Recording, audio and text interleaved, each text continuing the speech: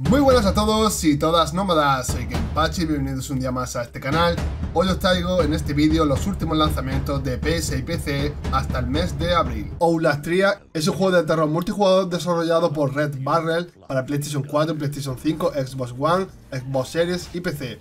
La popular saga de terror vuelve con una propuesta diferente, un juego cooperativo en el que tenemos que superar todo tipo de terroríficas pruebas, una especie de escape room, pero con la ambientación de Saw. Este juego ya salió en España el 5 del 3 de 2024. Unicon Overlord es un juego de rol y estrategia desarrollado por VanillaWare para PlayStation 4, PlayStation 5, Xbox Series, Nintendo Switch y PC. Los creadores de títulos como Dragon Crow o 30 Sentinel, Age Rim, vuelven con un nuevo juego de rol táctico con combate por turno y 60 personajes jugables en un mundo de fantasía. Fuera de las batallas tenemos un enorme mundo para explorar con ciudades y todo tipo de localizaciones donde podremos hablar con NPCs, cumplir misiones y mejorar nuestro equipo. Hay disponibles tres niveles de dificultad y a pesar de ser una experiencia profunda y extensa para un jugador de entre 50 y 100 horas, también incluye un modo multijugador. Este juego ya salió en España a la venta el 8 del 3 de 2024. Outcast A New Beginning es una nueva aventura de acción desarrollada por Apple Studios y publicada por THQ Nordic para PlayStation 5, Xbox Series y PC. La secuela del juego de culto de 1999, una aventura en mundo abierto de ciencia ficción que está ambientada en un exótico mundo alienígena que podemos recorrer con libertad gracias a la mochila propulsora, combatiendo contra todo tipo de criaturas y resolviendo sus misiones en un desarrollo no lineal, con una elaborada historia en un mundo que alberga multitud de misiones principales, secundarias y secretos. El juego da mucha libertad al jugador para que explore con libertad y afronte sus diferentes retos en el orden que quiera, contando con una ambientación muy atractiva y una cuidada banda sonora, obra de Lenny Moore, el compositor del primer juego. Outcast sale a la venta en España el 15 del 3 de 2024. Hi-Fi Rush es un videojuego de acción de plataforma y hack and slack con énfasis en el ritmo musical para Xbox Series y PC desarrollado por Tango Gameworks. En el videojuego encarnamos a Chai, un joven aspirante a estrella de rock que tendrá que luchar contra una peligrosa corporación de implantes robóticos. Un diseño cyberpunk lleno de humor y estilo anime. Hi-Fi Rush es un videojuego de acción que nos invita a avanzar por distintos niveles lineales y estética futurista en los que se irán intercalando combates en arenas especiales con docenas de robots mientras disfrutamos en secciones de plataformas de 3D y 2D con coleccionables, objetos ocultos, secuencias QTE y mucho ritmo en todas y cada una de las facetas jugables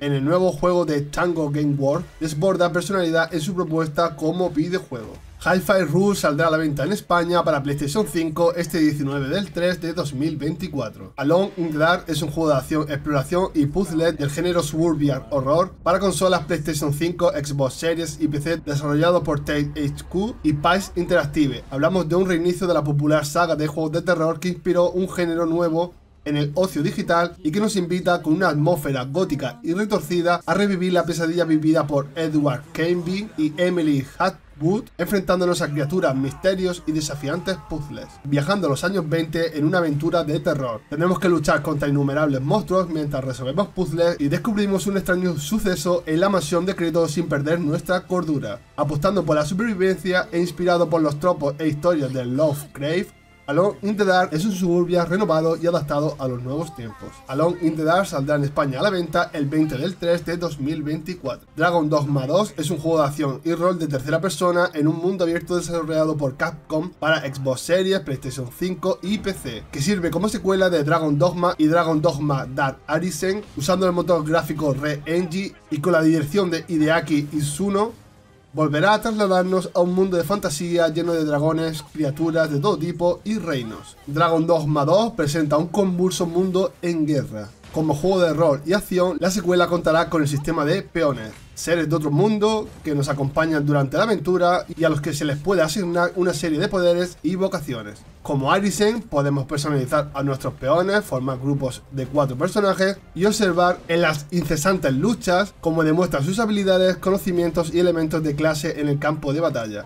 Como jugadores, nuestro personaje puede lanzar ataques débiles y fuertes con nuestra espada, defendernos con un escudo y lanzar hasta 4 habilidades y hechizos especiales con efectos distintos. Dragon Dogma 2 saldrá a la venta en España el 22 del 3 de 2024. Race of the Running es un videojuego de acción y rol en mundo abierto exclusivo para PlayStation 5 desarrollado por Team Ninja que se enfoca en el combate y en la historia épica de un samurái en Japón en el siglo XIX que buscará forjar su propio nombre y que acabará decidiendo el destino del país de Japón. Una historia que forjaremos poco a poco. Rise of the Ronin nos traslada a la distante Japón en 1863, justo después de tres siglos de opresión por parte del shogunato de Tokugawa. Team Ninja ha construido un juego en el que la historia se irá desarrollando y cambiando de diferentes maneras conforme a las decisiones que tomemos por el camino.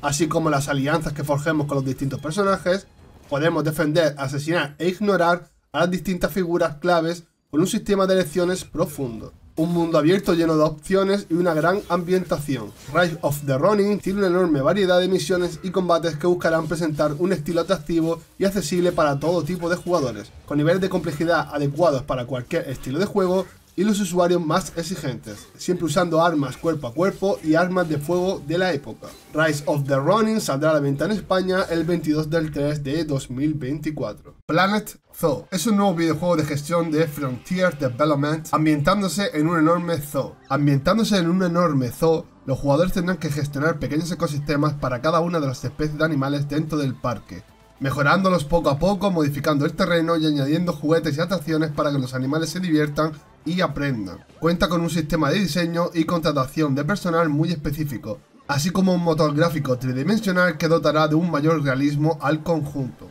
Planet Zoo ya fue lanzado para PC en el año 2019 y ya estará disponible para PlayStation 5, Xbox Series este 26 del 3 de 2024. Open Road es una aventura narrativa desarrollada por Open Road Team y publicada por Anapurna Interactive para PlayStation 4, PlayStation 5, Xbox One, Xbox Series, Nintendo Switch y PC.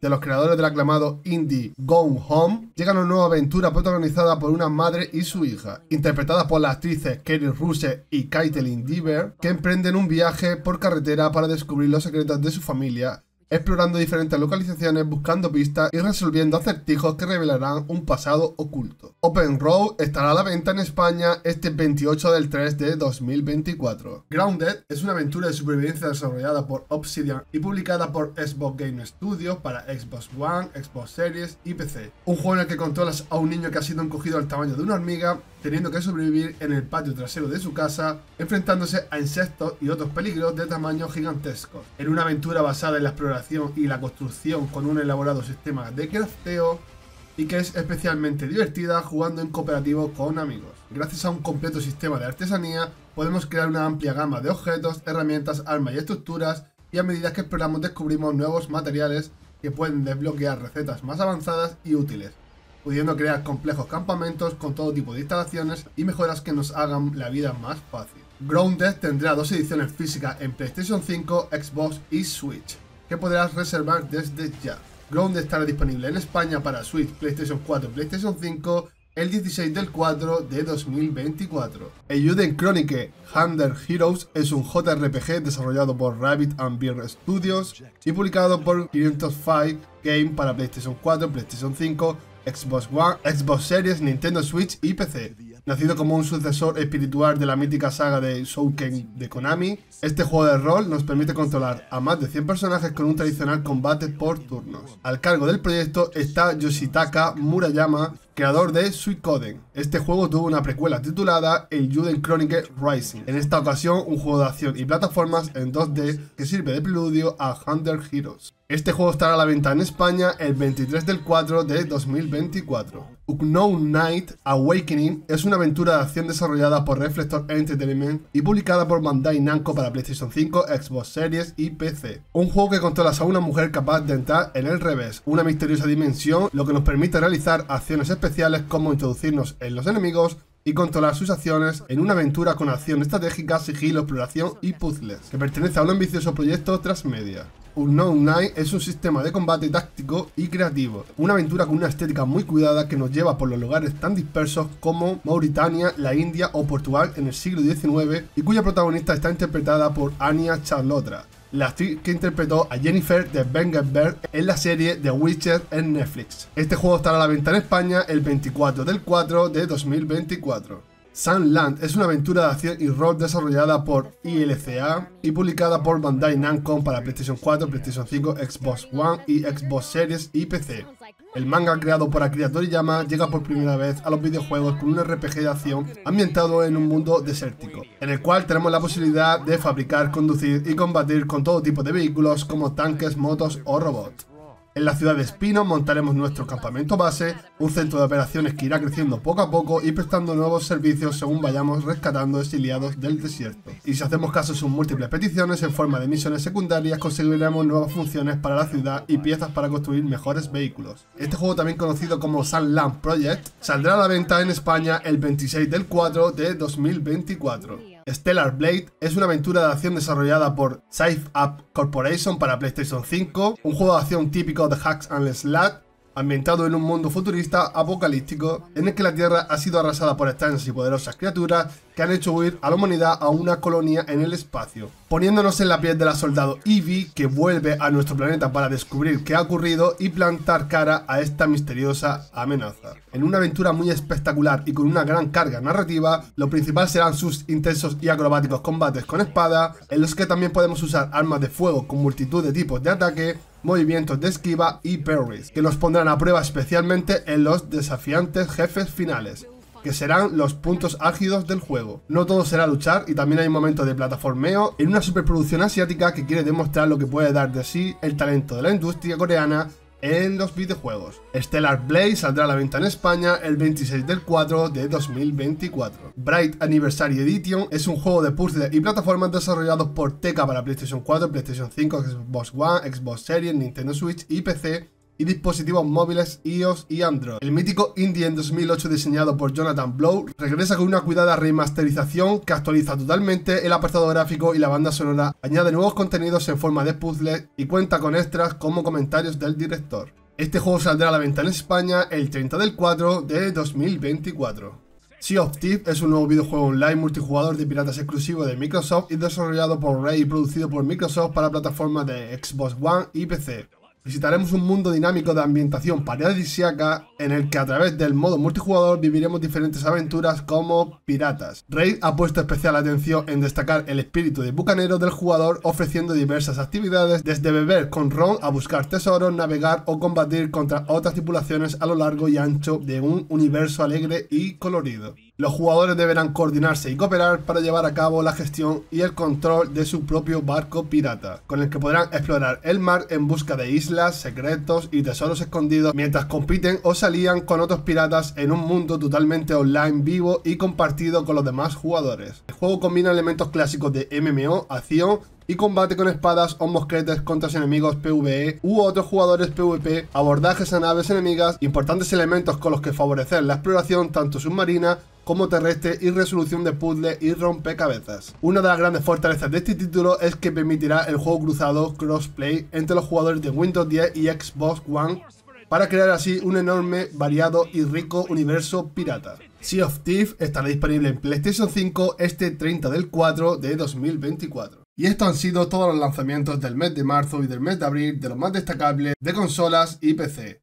Si os ha gustado este vídeo no olviden suscribirse al canal, dejen sus comentarios, denle un fuerte like y como siempre, ¡hasta la próxima!